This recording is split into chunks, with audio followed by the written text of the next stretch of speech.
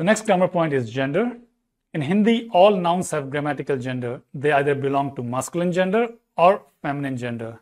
There's no specific way of knowing the gender of a noun, but there's a rule of thumb that students can use to identify the gender of a noun. Most nouns ending in a are masculine. Most nouns ending in e belong to feminine gender. Here we have some examples. Number one is sofa. Sofa ends in a, that's why it's masculine. Number two, almari, closet. Almari ends in e, that's why it's feminine.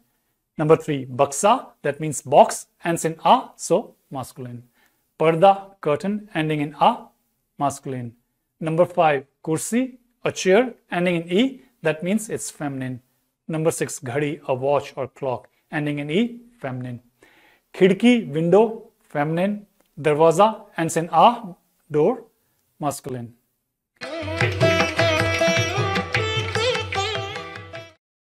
And of course, the natural genders. Regardless of the ending, the natural genders are the grammatical genders. Man is masculine and woman is feminine. Here you can see that the word men is admi, it ends in e. But regardless of the ending, admi is men, admi is masculine. Aurat is woman, it is feminine.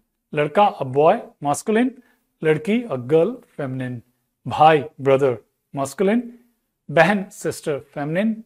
Ma, mother, feminine. Pitaji, father, masculine. Chacha, uncle, masculine. And chachi, auntie, feminine.